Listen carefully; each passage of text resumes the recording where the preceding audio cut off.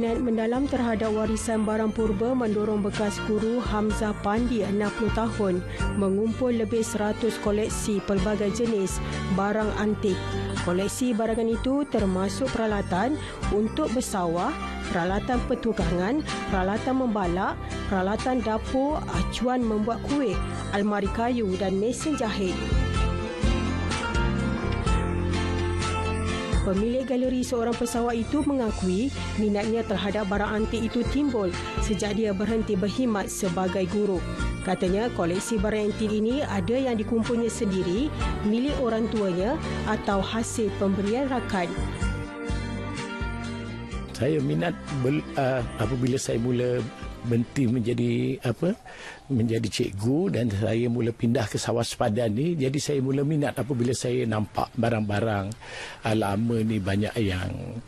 Kemudian yang keduanya saya rasa ramai orang masih tak tahu ya daripada daripada barang-barang lama ni terutamanya budak-budak muda. Jadi saya nak cuba warisan ini sebagai satu benda yang boleh uh, kita apa ni pertahankan dan kita cuba ketengahkan kepada generasi muda supaya dia tahu pahit mahu orang dulu bekerja macam mana dibandingkan zaman sekarang. Kemudian sebagai saya orang pendidik, saya cikgu ya. Jadi seorang pendidik ni saya rasa uh, terlalu sayang bukan ramai orang yang boleh lagi nak mengumpul barang-barang yang seperti ini. Galeri yang terletak di kampung kunci air buang di sawah sempadan Tanjung Karang ini mempunyai nilai tersendiri berdasarkan keasliannya selain tempoh usianya mencecah antara 80 hingga 100 tahun. Katanya beliau akan terus mencari untuk mendapatkan barang antik untuk dijadikan koleksi di galerinya supaya ianya dapat diperkenalkan kepada generasi muda kini sini ni galeri ni memang seorang pesawah.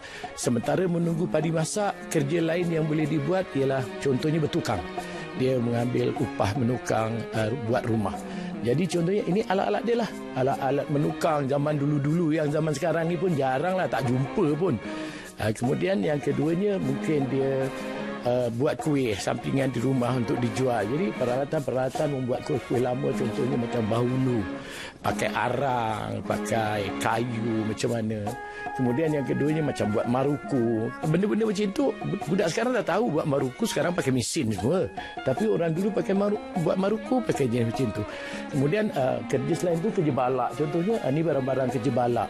Ya, ini peralatan kerja balak yang betapa susahnya orang kerja balak dahulu ya. Menggolekkan kayu yang sebegitu besar pun dengan menggunakan alat-alat yang ringkas yang seperti ini. Jadi tenaga itu uh, adalah faktor utama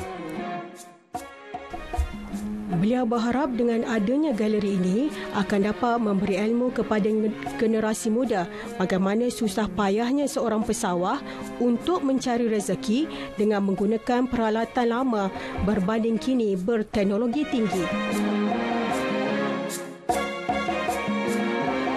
Ini walaupun benda ni macam ni, ini cabut pun dah, benda ni kecil kan, tetapi zaman dulu sebelum uh, orang pakai sabit. Dia ada beberapa peringkat orang mengerjakan sawah.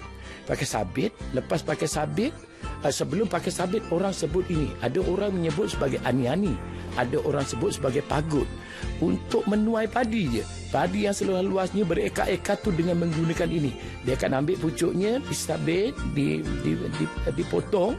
Lepas tu diikat, diikat, diikat. Lepas tu bawa-bawa balik. Sampai rumah nanti baru dipijak-pijak, dileraikan daripada tangkat. Lepas tu dia letakkan di atas tu. Dia ayak. Sementara itu, pengunjung yang ditemui berkata galeri ini perlu dikunjungi kerana mempunyai keunikan yang tersendiri. Jadi bila saya masuk ke sini, saya rasa macam wah satu tarikan lah kan pada saya. Sebab ada yang saya pernah nampak dan ada yang saya tak pernah nampak. Banyak juga. Dan ini jadi satu macam datang ke galeri seorang pesawah ni kan. Ha, rasa macam wow wow juga kan. Bagi anda yang datang ke Tanjung Karang, jangan lepaskan peluang berkunjung ke galeri seorang pesawah bukan sahaja dapat menimba ilmu dengan peralatan yang ada, malah dapat menghayati kepayahan, kesusahan dan keperitan seorang pesawah di zaman dahulu untuk mendapatkan hasil pertanian mereka untuk menyara keluarga.